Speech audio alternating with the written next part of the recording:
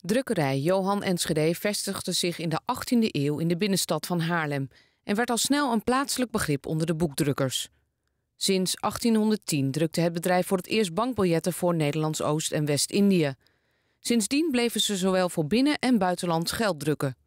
Na 300 jaar verhuisde de drukkerij van de binnenstad naar het industrieterrein Waardepolder in Haarlem. In 2003 kwam het bedrijf in zwaar weer, waardoor er arbeidsplaatsen moesten verdwijnen. De Haarlemse drukkerij Johan Enschede gaat 70 arbeidsplaatsen schrappen. Het bedrijf zit in de probleem omdat de Nederlandse bank veel minder eurobiljetten heeft besteld dan verwacht.